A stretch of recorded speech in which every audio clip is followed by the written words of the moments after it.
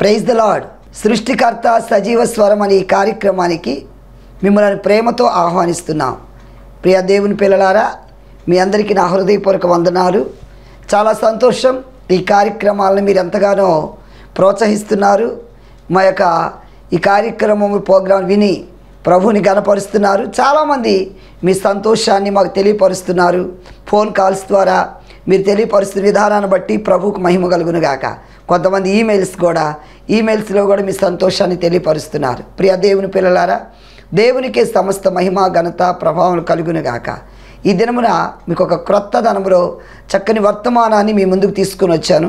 ప్రభు నామానికి మహిమ కలుగునుగాక మనందరం కూడా దేవుని రాజ్యంలో వెళ్ళాలి అన్న ఒక తపన ఈ యొక్క ప్రార్థన ఈ భక్తి ఈ విశ్వాసం ఇవన్నీ కూడా ఎందుకంటే ఈ భూలోకాన్ని విడిచిన తర్వాత దేవుని రాజ్యంలో ఉండాల ఉండాలి అన్నదే మన ఆశ. ప్రభుకే మహిమ. అమెన్ హలలుయ మరి ఆ నిత్య రాజ్యంలో మనం ఉండాలని ప్రతి ఒక్కరి కోరిక తపన గనుక ఈ దినాన మరి దేవుని యొక్క రాజ్యములో ఎందుకంటే కొంతమందికి అర్హత లేకుండా ఉన్నారు కొన్ని గుంపులు వారికి.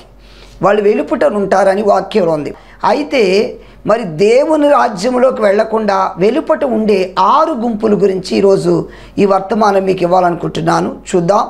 దేవుని పరిశుద్ధ గ్రంథములో ప్రకటన గ్రంథము ఇరవై రెండో అధ్యాయము. ప్రకటన గ్రంథం ఇరవై రెండు పదిహేను వచ్చి నుండి చదువుదాం. ప్రభువుకి మహిమ కలుగును గాక. కుక్కలను మాంత్రికులను వ్యభిచారులను నరహంతకులను విగ్రహారాధికులను అబద్ధమును ప్రేమించి జరిగించుచు ప్రతివాడును దేవునికే మహిమ కలుగును గాక. అబద్ధమును ప్రేమించి జరిగించు ప్రతివాడును. ఎక్కడుంటారట? వెలుపట. అంటే దేవుని రాజ్యంలో ఉండకుండా నిత్య నరకాగ్నులు ఉండే గుంపు. ఆరు రకాల గుంపులు. ప్రైజ్ దల్లాడు మొదటిగా కుక్కలు. ప్రైజ్ ద హాలలుయ అంటే ప్రియ దేవుని బిడ్డలారా కుక్కలు అంటే ఈ కుక్క ఒక జంతువు ఎందుకని ఇక్కడ కుక్కలు వెలుపటను ఉంటారంటే కుక్కలు మరి నరకంలో ఉంటాయనా? కాదు కాదు. ప్రైజ్ లార్డ్ కుక్కలు అనగా కుక్క స్వభావం కలిగిన వారు. దేవునికి స్తోత్ర. హాలలుయ మానవునికి శరీరము ప్రాణము ఆత్మ అనే ఉంటుంది. జంతువులకు ప్రాణము శరీరం ఉంటుంది. అయితే ప్రియ దేవుని బిడ్డలారా మనిషి చనిపోయిన తర్వాత శరీరము భూమిలో పాతి పాతి పెట్టబడుతుంది అలాగే ప్రాణము గాలిలో కలిసిపోతుంది. ఆత్మ దయచేసిన దేవుని వద్దకు వెళుతుంది. జంతువులకైతే ప్రాణము శరీరం మాత్రం ఉంటుంది కాబట్టి ఒక జంతువులకు ఆత్మ ఉండదు. కాబట్టి ఇక్కడ మరి జంతువులు ఎందుకు అన్నారంటే అలాంటి కుక్క స్వభావం. కొంతమంది జీవితాల్లో ఈ కుక్క స్వభావం కలిగిన వాళ్ళు ఉంటారు. అయితే ఈ దినమున ఆ కుక్కల గురించి కొన్ని నిమిషాలు మనం నేర్చుకుందాం. ప్రభునామానికి మహిమ కలుగును గాక రెండో పేతృపత్రిక రెండో అధ్యాయము ఇరవై రెండో వచ్చిన చదవండి. కుక్క తన వాంతుకు తిరిగినట్టు. తన వాంతికి తిరుగునట్లు కడుగుబడిన పంది బురదలో దొరినట్టు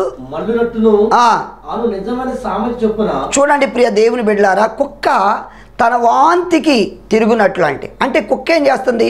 వాంతి చేసుకుని మరలా దాన్నే తింటుంది. అందుకే ఎందుకని కుక్కను పోల్చారంటే కొంతమంది జీవితాలు ఎలా ఉంటాయి అంటే మరి వాళ్ళు దేవుని దగ్గరికి వచ్చిన తర్వాత మారు మనసు పొందేనంటారు. పాపాలు ఒప్పుకున్న మారు మనసు పొందే బాప్తిస్తు పొందే అంటారు. అది అయినా సరే మరలా ఇంకా కుక్క వాంతి చేసుకుని ఎలా తింటుందో అలాగే కొంతమంది జీవితాలు ఉన్నాయి. ఎలా ఉన్నారంటే మరలా పాత స్వభావం పాత అలవాట్లు పాత స్థితికి వెళ్తారు. త్రాగుడు మానేసేవని చెప్తారు. మరలా త్రాగుతారు. సిగరెట్ మానేసామంటారు మరలా వాటినే తాగుతాం మరి తాగుతూ ఉంటారు. అంటే దీన్ని ఏ స్వభావం? కుక్క స్వభావం. అందుకే ఈ కుక్కను పోల్చారు. కాబట్టి ప్రియ సహోదరుడా నీవు కుక్క లాంటి స్థితిలో ఉంటే ఆ స్థితి నుండి మార్పు చెందాలన్నదే దేవుని ఉద్దేశం. ప్రభునామానికి మహిమ కలుగును గాక. ఎందుకంటే కుక్క తోక వంకర. ఆ కుక్క తోక ఎన్ని రకాల ప్రయోగాలు చేసినా అది వంకరే. ఒక వ్యక్తి అనుకున్నాడు తన ఇంట్లో పెంపుడు కుక్క ఉంటే మా కుక్కకి తోక వంకరగా ఉంది ఏంటని ఒక క బద్ద తీసుకొని దానికి కట్టాడు తోకకి. కట్టిన అది తీగానే మరలా అది వంకరే. ఎందుకు? దాని స్వభావం వంకరే. ఆ తోక వంకరే. అలాగే కొంతమంది జీవితాలు ఎన్ని రకాలుగా మందిరానికి వచ్చినా మరి బాప్తిస్తు పొందినా వంకర బుద్ధి పోదు. అందుకని ఇక్కడ ఇలాంటి కుక్క స్వభావం కలిగిన వారు ఎక్కడ ఉంటారంటే వెలుపుట. వెలుపుట అంటే ఈ నరకంలో. కా కాబట్టి ప్రియమైనటువంటి సహోదరుడా సహోదరి చూడండి వర్తమానం వింటున్న దేవుని పిల్లలారా ఈరోజు నువ్వు కుక్క లాంటి ఆ స్వభావం ఉంటే మార్పు చెందాలని దేవుడు నీతో మాట్లాడుతున్నాడు. ఇంకా దేవుని పరిశుద్ధ గ్రంథంలో చూద్దాం. మరి దేవుని వాక్యంలో దేవునామానికి మహిమ కీర్తనాకాడు అంటాడు. ఇరవై రెండో కీర్తన పదహారు వచ్చిన చదువుదా? కుక్కలు ఆ, నన్ను చుట్టుకొని ఉన్నవి. కుక్కలు నన్ను చుట్టుకొని ఉన్నవి. దుర్మార్గులు కూడి అదిగో ఇక్కడ భక్తుడు ఈయన కుక్కలు నన్ను చుట్టుకొని అనేవి అంటున్నాడు. అంటే కుక్కలు చుట్టుకొని అయినా ధనభావం కుక్క లాంటి స్వభావం కొంతమంది మనం అంటాం కోపం వచ్చినప్పుడు చీ కుక్క కుక్క. వాడు కుక్క. ఆ కుక్క జోలికి ఎందుకు? కుక్క జోలికి పోయి చక్కదనం పోగొట్టుకున్నారంట అంటే ఆ కుక్క జోలికి వెళ్తే అది కుక్క కాబట్టి దానికి తెలియదు దాని స్వభావం అది కనుక. అందుకే దావీదు ఈ మాట మాట్లాడుతున్నాడు. మరి కుక్కలు నన్ను చుట్టుకొని ఉన్నాయని. కాబట్టి ప్రియ సహోదరుడా ఈ కుక్క స్వభావము కుక్క లాంటి ఇలాంటి బుద్ధి నుండి మార్పు చెందాలని దేవునికి స్తోత్రం కలుగును గాక. హలలుయ ఈ కుక్క ఎప్పుడు చూసినా తిండికి ఆతృత పడుతుంది. ఈ కుక్క స్వభావం ఏంటంటే మరి అది మనుషుల మీద పడి కరవటానికి కూడా అది వెనకాడదు. ప్రైజ్ ద లాడ్ హాలలుయా చూడండి ఇంకా దేవుని పరిశుద్ధ గ్రంథంలో మరి సామెతల గ్రంథంలో కూడా ఇరవై ఆరు అధ్యాయము పదకొండు వచ్చిన చూసినట్లయితే సామెతల గ్రంథం ఇరవై ఆరు పదకొండు. దేవునికి మహిమ కలుగును గాక. తన మూఢతను ఆ, మరలా కనపరచు మూర్ఖుడు. తన మూడతును మరలా కనపరచు మూర్ఖుడు. కక్కేదానికి ఆ. తిరుగు కుక్కతో సమానుడు. కక్కిన తిరుగు కుక్కతో సమానుడు. అంటే ఈ మూర్ఖుడు తన మూర్ఖత్వమును కనపరిచే వ్యక్తి. మూఢతను అంటే మూర్ఖత్వం. ఈ మూర్ఖత్వ ఎలాగా ఆయన మరల మార్పు చెందినని చెప్పాడు. దేవుని బిడ్డనని చెప్తున్నాడు. మందిరానికి వస్తున్నాడు అంటున్నాడు కానీ మూర్ఖ స్వభావం పోవటల్లా మూర్ఖ బుద్ధి అలాంటి వ్యక్తిని ఎలా పోల్చారు దేవుని వాక్యం? ఈ భక్తుడు ఏమని పోలుస్తున్నాడు అంటే కుక్కతో సమానుడు. ప్రైజ్ దలాడ్ హాలెలుయా అంటే ఇంకా నీ మూర్ఖత్వం పోలా. దేవుడి దగ్గరికి వచ్చావు కానీ నువ్వు మార్పు చెందని చెప్తున్నావు కానీ బాప్తిస్తు ముందని అంటున్నావు కానీ నీలో ఇంకా ఈ మూర్ఖ స్వభావం పోవటం లేదు కాబట్టి ఇప్పుడు నువ్వు కుక్కవే. ప్రైజ్ అలాడ్ చాలామంది మందిరానికి వస్తున్నారు మార్పు చెందని అంటున్నారు. కుటుంబంలో భార్యతో సమాధానంగా ఉండరు భర్తతో సమాధానంగా ఉండరు మరి ఇరుగు పొరుగు వారితో సమాధానంగా ఉండరు. అందరితో గొడవలే. ప్రతి చిన్న సమస్యకు కూడా పోలీస్ కేసులు అంటారు కోర్టులు అంటారు. ఇలాంటి వాళ్ళు కుక్కతో సమానమైన వాక్యం చెప్తుంది. ప్రభు నామానికి మహిమ కలుగును కాక కాబట్టి నీ మూర్ఖ స్వభావం నుంచి నీ విడుదల పొందాలి. ఇంకా దేవుని పరిశుద్ధ గ్రంథంలో యశా గ్రంథం మరియు దేవుని నామానికి మహిమ కలుగును గాక. యశా గ్రంథంలో యాభై ఆరు అధ్యాయం పది పదకొండు వచ్చినాలు ఏముంది చూద్దాం అక్కడ. యశా గ్రంథం యాభై ఆరు పది పదకొండు. వారి కాపరులు గుడ్డివారు. గుడ్డివారు. వారందరూ తెలివిలేని వారు వారందరూ మోగ కుక్కలు మొరగలేరు. ఆ, కలవరపరచుచు ఆ, పండుకొని వారు ఆ. నిద్రాశక్తులు. చూడండి ఇక్కడ. దేవుని వాక్యాలు ఇక్కడ కొంతమంది సేవకుల గురించి కూడా చెప్తున్నారు. ఎలాగా? వీళ్ళు నిద్రాశక్తులు కలిగిన వాళ్ళు. సరిగ్గా మొరగలేరు స్వార్థ ప్రకటించలేరు దేవుని కొరకు పరిగెత్తలేరు దేవుని కొరకు వాక్యం బోధించలేరు దేవుని కొరకు పాటు పడలేరని వీరి గురించి చెప్తున్నారు. కొంతమంది ఎలా ఉన్నారు? వారి తిండి కోసమే. కొంతమంది తిండి కోసం ఇంకా నిద్ర కోసం నిద్రాశక్తులు. కాబట్టి ఇలాంటి వాళ్ళని కూడా కుక్కలని దేవుని వాక్యం పోలుస్తుంది. ప్రైజ్ ద లార్డ్ ప్రియ దేవుని బిడ్డలారా ఇంకా యాభై తొమ్మిదో కీర్తనలో కూడా దేవునికి మహిమ కలుగును గాక. పద్నాలుగు వచ్చిన కూడా చదవండి. యాభై తొమ్మిది పద్నాలుగు. యాభై తొమ్మిదో కీర్తన మరి పద్నాలుగో వచ్చినలో మరలా వచ్చిదరు. మరలా వచ్చేదరు. కుక్క వలె మురుగుచు కుక్కవలే మురుగుచు. పట్టణం చుట్టూ తిరుగుదురు. ఆ, తిండి కొరకు వారు ఆ, ఇటు అటు తిరుగులా అదిగో కొంతమంది జీవితాలు ఎలా ఉన్నాయంటే తిండి కోసం పరుగులెత్తుతారు. తిండే వాళ్ళ జీవితం. ఓ తిండిపోతుతాను అందుకే దేవుని వాక్యం చెప్తుంది నీవు తిండిపోతు అయిన ఎడల నీ గొంతు కత్తి పెట్టుకోమన్నారు. అంటే ప్రియ సహోదరుడా సహోదరి తిండే లోకం ఇక జీవితం అంతా తిండి అన్నట్టు జీవిస్తారు. అలాంటి వాళ్ళని కూడా కుక్కలాగా పోలిస్తున్నారు. మొదటిగా ఈ యొక్క ఆరు గుంపుల్లో దేవుని రాజ్యంలో ప్రవేశించకుండా మరి వెలుపుటి ఉండే వాళ్ళలో మొదటి గుంపు ఎవరంటే కుక్కలు అన్నారు. దేవునికి స్తోత్రం. ఆ రెండో గుంపు గురించి ఏమని చెప్తున్నారు? చూడండి. రెండవది మాంత్రికులు. మాంత్ర మాంత్రికులు అంటే మాంత్రిక విద్యలు మంత్రాలు తంత్రాలతో ప్రజలను భయాభ్రాంతులు చేస్తూ వాళ్ళ మంత్రశక్తులతో ఎన్నో రకాల మోసాలు చేసే వాళ్ళు ఉన్నారు. మాంత్రికలు ప్రైజ్ ద వారు కూడా వెలుపుట ఉంటారన్నారు. కీర్తనలో యాభై ఎనిమిదో కీర్తన నాలుగో వచ్చిన కూడా చదవండి. దేవునికి స్తోత్రం. వారి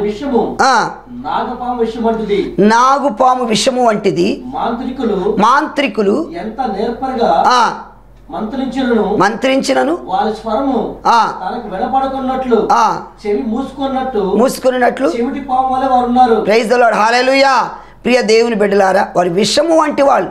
మరి నాగుపాము స్వభావం విషము లాంటి వారు. ఈ మాంత్రిక స్వభావం. కాబట్టి ఈరోజు ఆ మంత్రతంత్రాలు అనే స్వభావం నుంచి మనం విడుదల పొందాలి. ప్రియ దేవుని బిడ్డలారా ఈరోజు ఎంతోమంది చిన్న కష్టం వచ్చినా చిన్న సమస్య రాగానే ఎదుటి వాళ్ళ మీదక ఏ మంత్రాలు ప్రయోగాలు చేస్తుంటారు.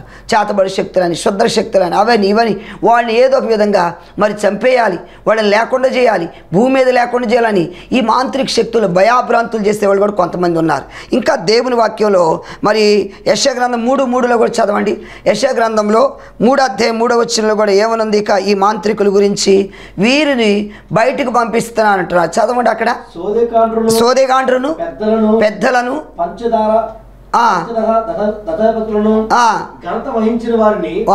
మాంత్రికులను మాంత్రికులను ఎరిగిన వారిని మాంత్రికులను మాంత్రికులను ఎరుషలేం నుండి ఎరుషలేము నుండి యోధా దేశం నుండి దేవునికి స్తోత్రం. ప్రియ దేవుని బిడ్డలారా పరిశుద్ధ పట్టణమైన దేశం నుండి వాళ్ళని తీసివేయను. దేవుని రాజ్యంలోకి అర్హత లేకుండా ఈ మాంత్రికులు మరి వీరందరూ కూడా తీసివేయబడతారని వాక్యం సెలవిస్తుంది. ప్రియమైనటువంటి సహోదరుడా సహోదరి ఈరోజు దేవుని వాక్యం వింటున్న సోదరుడా నీలో ఇలాంటి స్వభావాలు ఉంటే వాటి నుంచి విడుదల పొందాలి. ఆమెన్. దేవుని కుమారుడిగా కుమార్తెగా కొంతమంది జీవితాలు చూడండి ప్రార్థన చేస్తూనే ఉంటారు దేవుని వాక్యానికి లో మరి లోబడినట్టే ఉంటారు. ఇంకా వీరు వీటి మీదే వీటి మీదే నమ్మకం ఉంటారు. చిన్న జ్వరం రాగాలి తాయిత్తులుగా పరిగెత్తుతారు. మరి చిన్న బలహీనత రాగాలి అక్కడ మంత్రగాల దగ్గర పరిగెత్తుతారు. ఏదో నిమ్మకాయలు తెచ్చుకుని పెట్టుకుంటారు ఇంట్లో. ఆ నిమ్మకాయ తీసుకుని పెట్టుకోగలే వాళ్ళకి ఏదో విడుదలైనట్లుగా. వీటి చోలికి నువ్వు వెళ్ళకూడదని దేవుని వాక్యం సెలవిస్తుంది. ఒక అన్నిటి గురించి నేను చెప్పట్లేదు. ఒక దేవుని శక్తిని ఎరగని వాడి గురించి నేను చెప్పట్లేదు. ప్రియ దేవుని బిడ్డలారా దేవుని గురించి ఎరిగి దేవుని శక్తిని గ్రహించి మార్పు చెంది క్రైస్తవుడిగా జీవిస్తూ ఇంకా నీవు ఇలాంటి వాటిని ఆశ్రయిస్తే నీవు వెలుపట్టు ఉంటావని దేవుని వాక్యం సెలవిస్తుంది. ఎందుకంటే ప్రకటన గ్రంథంలో చూద్దాం ఇరవై ఒకటి అధ్యాయం ఎనిమిది వచ్చిన ఏమనుంది అక్కడ?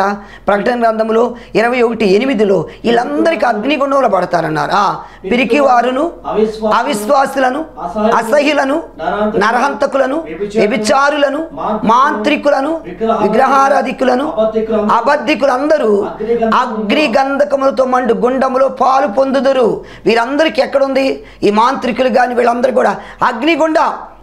కాబట్టి ప్రియ సహోదరుడా సహోదరి వీరందరూ అగ్నిగుండం పాలవుతారు అంటున్నారు ఇంకా దేవుని వాక్యంలో చూద్దాం. మూడవదిగా మూడవ గుంపు ఎవరట? వ్యభిచారులు. Praise the Lord hallelujah. ఈ వీళ్ళు వీళ్ళు కూడా వెలుపుట ఉంటారు. దేవుని రాజ్యంలో అర్హత లేదు. దేవునికి స్తోత్రం కలుగును గాక. చూద్దాం ఇరిమియా గ్రంథం ఇరవై మూడు పద్నాలుగులో ఏమనుంది? ఇరిమియా గ్రంథం ఇరవై మూడు అధ్యాయం పద్నాలుగు వచ్చినములో దేవునికి మహిమ కలుగును గాక.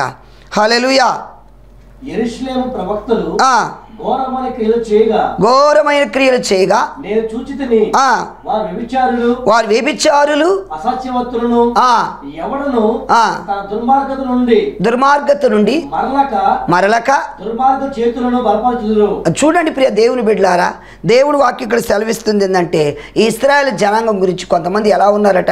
ఇంకా ఈ క్రియలను మానటలేదు. ప్రైజ్ దలాడ్ హాలేలుయా వ్యభిచార బుద్ధిది వ్యభిచార తలంపుల నుంచి నీ విడుదల పొందాలి. ఎందుకంటే దేవుని వాక్యంలో సెలవిస్తుంది. మరి దేవుని వాక్యంలో ప్రియమటువంటి సహోదరుడా దేవుని ఎరిగి దేవుని వాక్యానికి లోబడక నువ్వు ఇలాంటి పాపం చేస్తే మరి దేవుని భార్య ఉండగా పరస్త్రీ ఆమోహంలో పడిపోయేవా? అది వ్యభిచారం. భర్త ఉండగా పరపురుషుడి ఆమోహంలో పడిపోయేవా? వ్యభిచారం. దేవునికి స్తోత్రం కలుగును గాక. దేవుని ప్రక్కన పెట్టి దేవునికి వాళ్ళ స్థానం దేవుని ఇవ్వకుండా దేవుని ఆరాధించకుండా నీవు దేవుని కన్నా ఎక్కువగా ఇక దేన్ని ప్రేమించినా అది వ్యభిచారంగా అవుతుంది కనుక ప్రైజ్ దలాడ్ హాలలుయ దేవునికి ఇవ్వాల్సిన స్థానమును దేవుడికి ఇవ్వాలి. ప్రైజ్ దలాడ్ కొంతమంది దేవునికి కాకుండా కనబడదంతా కూడా దైవంలాగా ఆరాధించేవాడు కొంతమంది ఉన్నారు. దేవునికి స్తోత్రం. జీవం లేని వాటిని కూడా దేవుడిగా భావించేవాడు ఉన్నారు. మనుషులకు కూడా ఆరాధన చేసేవాళ్ళు ఉన్నారు. కాబట్టి ఇది దేవుని వాక్య ప్రకారం విరోధమైన పాపం కనుక దేవుని నామానికి మహిమ కలుగును గాక. ద్వితీయోపదేశ కాండం ముప్పై ఆరు అధ్యాయంలో దేవునికి మహిమ పదహారు వచ్చిన చదువుదాం. ద్వితీయోపదేశ కాండము ముప్పై ఆరు అధ్యాయము పదహారు వచ్చనం దేవునికి మహిమ ప్రియ సహోదరుడా దేవునికి స్తోత్రం కలుగును గాక. హాలెలుయ ముప్పై ఒకటి పదహారు చదవండి. ఇట్లా నేను. ఇదిగో ఇదిగో. నీవు నీ పితరులతో పండుకొనబోచున్నావు. ఆ, ఈ జనులు ఈ జనులు ఈ జనులు లేచి ఆ, ఎవరి దేశమున ఆ. తాము చేరి వారి ఆ.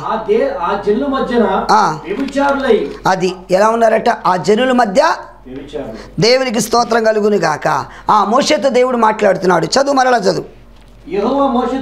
ఇట్లా నేను ఇదిగో నీవు ఆ నీ పితరులతో పండుకొనబోచున్నావు పట్టుకొని పోచున్నావు. ఈ జనులు లేచి ఆ ఎవరి దేశమున ఎవరి దేశమున తాము చేరి ఆ వారి నడుము నుందురో ఆ ఆ జనుల మధ్యన వ్యభిచారులై వ్యభిచారులై ఆ అన్య ఆ అన్యుల దేవతల వెంట ఆ వెళ్ళిన వెళ్ళి నన్ను విడిచి నేను వారు చేసిన నిబంధనను మీరుదురు. దేవుడు ముందుగానే మోషేతో చెప్తున్నాడు మోషే ఈ ప్రజలు ఎలా ఉన్నారంటే నన్ను విడిచి నన్ను ఆరాధించకుండా వ్యభిచారులైపోయి ఇతర దేవతల వైపు తిరుగుతూ ఉంటారు. ప్రైజ్ అలాడు హాలెలుయా ప్రియమైనటువంటి సహోదరుడా సహోదరి దేవుడు మరి మోషేతో చెప్తున్నాడు ఈ ప్రజలు ఎలా తయారవుతున్నారు? ఎందుకంటే వారి స్థితి దేవుడు చూశాడు. వారు ఎలా అయ్యారంటే మోషే నలభై దినాల దేవుని సన్నిధిలో మరి ప్రార్థన చేసుకోవడానికి వెళ్ళినప్పుడు వీరి ఇష్టానుసారుగా వారు ఏం మోషే సేనాయి పర్వతం మీదకి వెళ్ళలేకే వీళ్ళు తినుచు త్రాగుతూ డ్యాన్సులు వేస్తూ నాట్యం చేస్తూ దేవుని విడిచిపెట్టి ఇష్టానుసారమై వ్యభిచారులుగా ప్రవర్తించారు. కాబట్టి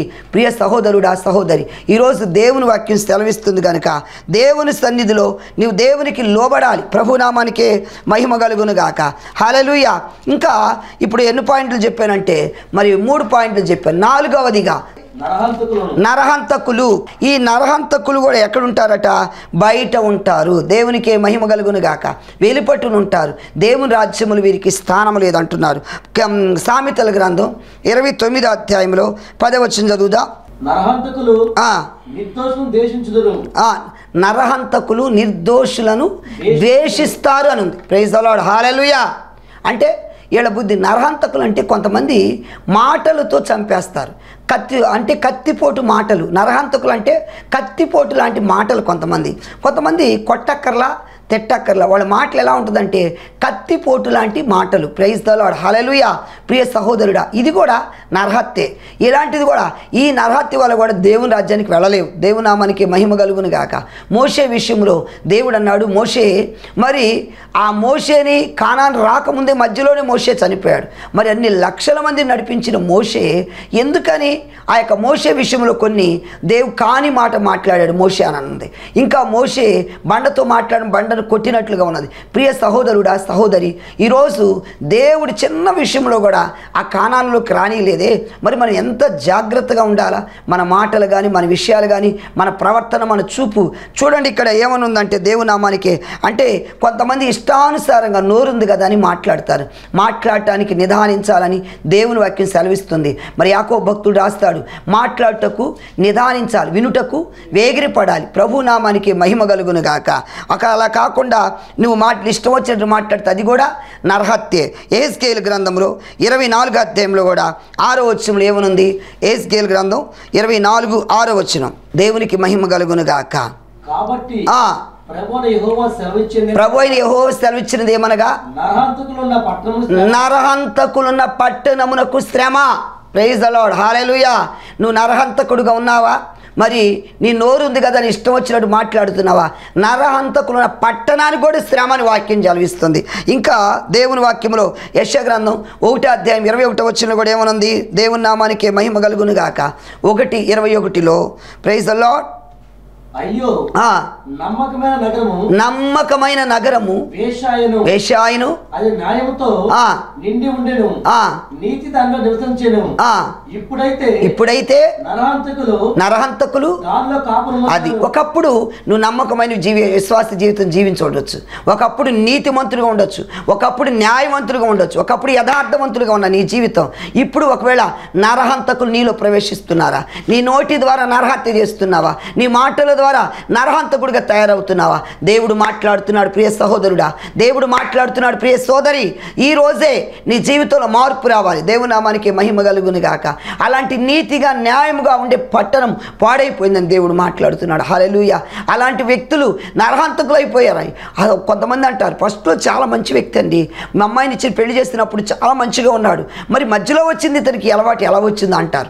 అంటే ఇప్పుడు ఈ వ్యక్తులు కూడా కొంతమంది ఎలా అవుతున్నారు? నరహంతకులుగా తయారవుతున్నారు. దేవుని నామానికి మహిమ ప్రియమైనటువంటి సహోదరుడా సహోదరి. అలాగే ఐదవ పాయింట్గా ఐదవ గుంపు వారు వీళ్ళు ఎవరట దేవునికి మహిమ కలుగునుగాక. విగ్రహారాధికులు విగ్రహారాధికులు అంటున్నారు. చూడండి దేవుని పరిశుద్ధ గ్రంథంలో ఏపేసి పత్రిక ఐదో అధ్యాయం ఐదో వచ్చిన చదవండి. దేవుని వాక్యాన్ని మరి వాక్యానికి లోబడాలి. క్రైస్తవ సోదరుడా ఆ. వ్యభిచారి అయినను అపవిత్రుడైనను విగ్రహారాధికుడైనను దేవుని హక్కు హక్కుదారులు కాదు. నీవు దేవుని కుమారుడిగా జీవించాల్సి నీవు దేవుని కుమార్తెగా ఉండాల్సిన నీవు ఇదిగో నువ్వు దేవుని బిడ్డగా జీవిస్తున్న నీవు. ఇలా చేస్తే దేవుని రాజ్యానికి హక్కుదారుడు కాదని వాక్యం సెలవిస్తున్నాను విగ్రహారాధికుడిగా ఉంటే. శద్రక్ మేషక్ ఆబిద్దునుగో ఒకటే చెప్పారు దేవునామానికి మహిమ కలుగును గాక. ఆ బంగారు ప్రతిమకు నమస్కారం చేయమంటే వాళ్ళు ఏమంటున్నారు రాజా మేము సేవించుచున్న దేవుడు మండుచున్న అగ్నిగుండము నుండి తప్పించి రక్షించుటకు సమర్థుడు. ఒకవేళ మా దేవుడు రక్షింపపోయినా పర్వాలేదు. మేము మాత్రం ఈ ప్రతిమకు నమస్కారం చేయమో? వాళ్ళ తీర్మానం కానీ వాళ్ళ సమర్పణ కానీ చూడండి. ప్రైజ్ దలాడ్ హాలెలుయా మేము ఆ ప్రతిమకు మొక్కము ఆ విగ్రహాన్ని పూజించము మేము ఆరాధించము. మేము ఆరాధించే దేవుడు జీవము గల దేవుడు. ఈరోజు క్రైస్తవ సోదరుడా క్రైస్తవ సహోదరుని చెప్పగలుగుతున్నావా? ఆ విధంగా దేవుని స్థుతించగలుగుతున్నావా దేవునికి నమ్మకంగా ఉండగలుగుతున్నావా? హాలెలుయా దేవుని వాళ్ళు ఎవరో ఏదో అనుకుంటారని ఎవరి కోసమో కాదు నీ భక్తి. దేవుడు చూస్తున్నాడు. ప్రభునామానికి మహిమ కలుగును గాక. దేవుని కొరకు ఒక రోషం కలిగిన వ్యక్తిగా నీవు జీవించాలని దేవుని వాక్యం సెలవిస్తుంది. ప్రైజ్ దలాడ్ ఇంకా మొదటి కొరింది పది అధ్యాయం ఏడు వచ్చిన కూడా ఏముందో చదవండి. మొదటి కొరింది పత్రిక పది ఏడు జనులు తినుటకును త్రాగు ఆడుటకు లేచిరి.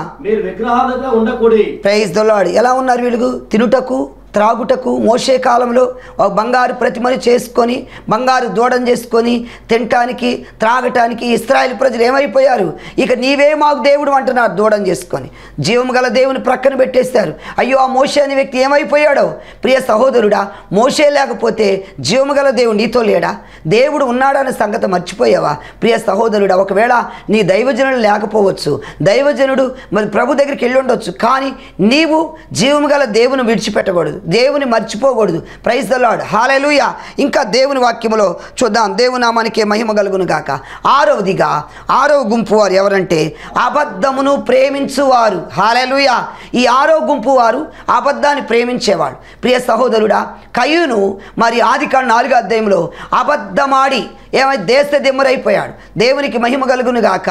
ఆ కాది కాండంలో నాలుగు అధ్యాయంలో తొమ్మిది ఆ వచనాలు చూసినట్లయితే కయ్యూని అంటున్నాడు నీ తమ్ నా తమ్మునికి నేను కా కావలివాడు అంటున్నాడు. నీ తమ్ముడు ఎక్కడా? అని అడుగుది హేబేల్ నీ తమ్ముడు ఎక్కడని దేవుడు అడుగుతుంటే అబద్ధం ఆడుతున్నాడు. నా తమ్ముడికి నేను కావలి వాడినాను అబద్ధం ఆడుట వల్ల కయ్యును దేశ దిమ్మరైపోయాడు. అపోస్తుల కార్యం ఐదో అధ్యాయంలో అననీయ సప్పీరాలు. చూడండి పొలం అమ్మి ఆ పొలంలో కొంత దాచిపెట్టుకొని దేవుని దగ్గర తీసుకొస్తే పేతురు గారు అడుగుతున్నారు ఓ అననీయ పొలం ఇంతకే అమ్మేవా? అంతకేనయ్యా? అబద్ధం ఆడుతున్నాడు దేవునికి స్తోత్ర. హలలుయ మరి పేతురు అంటున్నాడు ఎందుకు సాతాను మీ హృదయాన్ని ప్రేరేపిస్తుంది? అబద్ధం ఆడటానికి ఎందుకు మిమ్మల్ని ఇలా తీసుకొస్తుంది? వాక్యం వింటున్న సోదరి సహోదరుడా నువ్వు అబద్ధాన్ని ప్రేమించే వ్యక్తిగా ఉంటే దేవుని రాజ్యానికి వారసుడు కాదు. అబద్ధముని విడిచిపెట్టాలని దేవుని వాక్యం సెలవిస్తుంది. ప్రైజ్ దలాడ్ హాలెలుయ దేవుని వాక్యములో కీర్తనకాడు అంటాడు యాభై తొమ్మిదో కీర్తన పన్నెండవ వచ్చినములో దేవునికే మహిమ కలుగునుగాక గాక. ఈ రోజు నువ్వు అబద్ధానికి దూరముగా ఉండాలి. దేవునికి మహిమ కలుగునుగా గాక. చూడండి యాభై తొమ్మిదో కీర్తన పన్నెండవ వచ్చినాం వారి ప్రధాన మాటలను బట్టి వారి నోటి పాపం బట్టి వారి నోటి పాపమును బట్టి వారి పలుకు శాపం బట్టి అబద్ధమును బట్టి వారు చిక్కబడుదురు అది అబద్ధమును బట్టి గర్వములు చిక్కబడుదురుగా అంటున్నాడు. కాబట్టి ప్రియ సంగమా ప్రియ దేవుని బిడ్డలారా ఆరు రకాల గుంపులు వారిని మీ ముందు పెట్టాను. ఈ ఆరు రకాల గుంపులు వారు ఎక్కడికి వెళ్ళిపోతారట? దేవునికి స్తోత్ర. హలెలుయ వెలుపటునుంటారు. వెలుపటు అంటే దేవుని రాజ్యంలో ప్రవేశించకుండా నరకాగ్నిలో ఉంటారు. ప్రియ సహోదరుడా సహోదరి మరి విన్నారు కదా? జీవవృక్షానికి హక్కుదారులు కాకుండా వారు దేవుని రాజ్యంలో ప్రవేశించకుండా వెలుపటి నుండే ఆరు రకాల గుంపులు మనం విన్నాం. మొదటి గుంపు దేవునికి స్తోత్రం. వాటిని మళ్ళీ నేను రిపీట్ చేస్తున్నాను. మొదటి గుంపు ఎవరట? కుక్కలు. ప్రైజ్ ద లాడ్ రెండవ గుంపు మాంత్రికులు దేవునికి స్తోత్రం కలుగును గాక మూడవ గుంపు వ్యభిచారులు నాలుగవ గుంపు నరహంతకులు ఐదవది విగ్రహారాధికులు ఆరవది అబద్ధమును ప్రేమించువారు. ప్రియ సహోదరుడా సహోదరి వీటిలో ఈ గుంపుల్లో నువ్వు ఉంటే ఈరోజు పశ్చాత్తాపాడు. ప్రవ్వా నిజమేనయ్యా. నా జీవితంలో ఈ లోపాలని నేను సరి చేసుకుంటానయ్యా. నేను ఒక కుక్కలాగా జీవిస్తున్నానయ్యా. నేను త్రాగనని తీర్మానం చేసుకుని మరలా త్రాగుతున్నానయ్యా. ఇక పాపం జోలికి వెళ్ళననుకుని మళ్ళీ వెళుతున్నానయ్యా నన్ను క్షమించయ్యా. నీ రక్తములో కడగబడి కూడా మరలా నేను కుక్కవలే జీవిస్తున్నానయ్యా. నన్ను క్షమించని ప్రియ సహోదరుడా సహోదరి. ప్రభు దగ్గరికి వస్తే ప్రభు ప్రేమామయుడు ప్రభు జాలి కలిగినవాడు ప్రభు క్షమించే దేవుడు. ఆయన నిన్ను తప్పకుండా క్షమిస్తాడు. నేను పాపములు నీ దోషములను ఆయన రక్తములు కడిగి శుద్ధీకరిస్తాడు గనక. ఒక్కసారి ప్రభువా నన్ను క్షమించమని అడుగుతావా? తప్పకుండా ప్రభు నిన్ను క్షమించే సమర్థుడు ఆయన. హలలుయ మరి కాబట్టి ప్రియ దేవుని బిడ్డలారా ఈ లిస్టులోని ఉంటే ఈరోజే ప్రభు దగ్గర నీ జీవితాన్ని సరి చేసుకో ప్రార్థన చేద్దాం. పరిశుద్ధుడా మహోన్నతుడా సర్వాధికారి జీవము గల దేవా నమ్మదగిన దేవానికి స్తోత్రములయ్యా. ఇదిగో నాయన నీ రాజ్యములకు హక్కుదారులు కాకుండా వేలుపట్టు నుండి ఆరు గుంపుల గురించి మేము విని ఉన్నాం. వాక్యం విన్న ప్రతి ఒక్కరిని సరిచేయండి. వాక్యంతో మాట్లాడండి గద్దించండి సరిచేయండి బుద్ధి చెప్పండి. మీరు మహిమ పొందమని. ఏసు నామముల బలహీనత నుంచి ఇప్పుడే బలపరచండి అయ్యా. స్వస్థత దయచేయండి. ప్రతి వ్యాధుల నుంచి బిడలకు అద్భుతంగా స్వస్థతను విడుదలను క్షేమమును ప్రకటిస్తున్నా. నజరడేది ఏస్తున్న నామములో. ఇప్పుడే బలహీనత వాళ్ళు విడిపించమని ప్రార్థన చేస్తున్నానయ్యా అద్భుత రీతిగా తాకండి నాయన. ఏస్తున్నామను నీ రక్తం బిడలలో ప్రవహింపజేయండి. లేవనెత్తి మీరు మహిమ పొందమని. ఏస్తున్నామమును ప్రార్థిస్తూ వేడుకొంచున్నాము తండ్రి. ఆమెన్. ఆమెన్. హల్లెలూయా. ప్రియ దేవుని బిడ్డలారా ఇంతవరకు ఈ వర్తమానం మీరు విని ఉన్నారు. ఈ వర్తమానం ద్వారా మీరు ఆశీర్వదించబడ్డారని నేను నమ్ముచున్నాను. ఈ వర్తమానం మీకు మీ కుటుంబాలకు ఆశీర్వాదకరంగా ఉందని నేను నమ్ముచున్నాను. ప్రియ సహోదరుడా సహోదరి ఈ వర్తమానం మీకు ఆశీర్వాదకరంగా ఉంటే ఇక ఆలస్యం ఎందుకు? తప్పకుండా మీరు మమ్మల్ని సంప్రదించండి. మా అడ్రస్కు మీరు ఉత్తరాలు కూడా రాయొచ్చు. అలా అంత మాత్రమే కాదు ఫోన్ కాల్స్ ద్వారా కూడా మీ సంతోషాన్ని మాకు తెలియపరచండి. నా అడ్రస్ పాస్టర్ చందోలు మోషే మన్నా ప్రార్థనా మందిరం లంబాడిపేట విజయవాడ. దేవునికి మహిమ కలుగును గాక. హలలుయ నా phone number nine seven zero three four six double seven double seven. దేవునికి మహిమ కలుగును గాక. ప్రియ సహోదరుడా సహోదరి మరి మీరు ఇంకా మా వర్తమానములు వినాలని మీకు ఆశ కోరికుంటే తప్పకుండా మా యూట్యూబ్ ఛానల్ సబ్స్క్రైబ్ చేయండి లైక్ చేయండి షేర్ చేయండి. మా యూట్యూబ్ ఛానల్ చందోలు మోషే అంటే మా వర్తమానాలని వస్తాయి. ప్రియ సహోదరుడా సహోదరి నీవు మాత్రం వింటమే కాదు. ఇంకా అనేక మందికి వాక్యాలు వినిపించడానికి నువ్వు ప్రయత్నం చేయండి. యూట్యూబ్లో వస్తున్న వర్తమానాల్ని నీవేం చేస్తావంటే వాటిని చూసిన తర్వాత నీవు చూసి ఇతరులు కూడా వాటిని షేర్ చేయి. ప్రభువుకు మహిమ కలుగును గాక. ప్రియ సహోదరుడా సహోదరి అంత మాత్రమే కాదు. మీ ప్రాంతాలకు వచ్చి ప్రార్థన చేయడానికి మమ్మల్ని ఆహ్వానిస్తే మేము వస్తాం. మీ ఒక ప్రాంతాల్లో మీ మందిరాల్లో మీకు మేము దర్శించి మీకోసం ప్రార్థన చేస్తాం. అంత మాత్రమే కాదు మీ యొక్క సంఘాల్లో ఉపవాస కూడికలున్నా ఉజ్జీవ కూడికలున్నా ఎలాంటి కూడికలున్నా మీరు మమ్మల్ని ఇన్వైట్ చేస్తే మీ ప్రాంతానికి వస్తాం దేవుని స్వార్థను అందించి దేవుని యొక్క దీవెనలు ప్రకటించి మేము వెళతాం కనుక ప్రియమైనటువంటి సహోదరుడా తప్పకుండా ఈ యొక్క కార్యక్రమాన్ని వీక్షించండి దైవ ఆశీర్వాదాలు పొందండి. దేవుడు మిమ్మల్ని మీ కుటుంబాలను దీవించును గాక amen God bless you thanks for watching